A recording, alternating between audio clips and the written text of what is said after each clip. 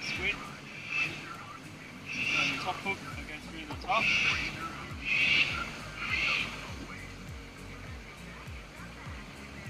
That. Bottom hook. Somewhere there in the skin.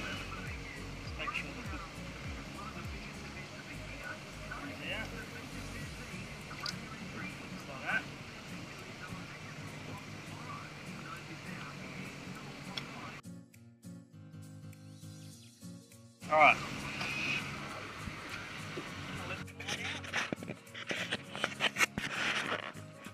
The bail arm off over there.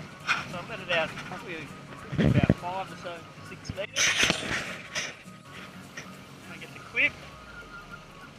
Clip in. Do it with the bail arm on, over on the reel. Undo the downrigger, let the downrigger down. Going down to about 30 foot here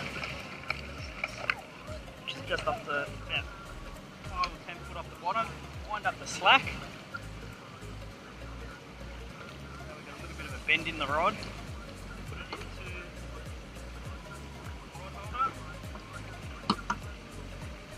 Make sure you've got a little bit of drag. You don't want to cut the rod. And that's it. Wait for it to bend over, and it'll just unclip from the clip. Bring up the uh, the downrigger fight the fish with no weight.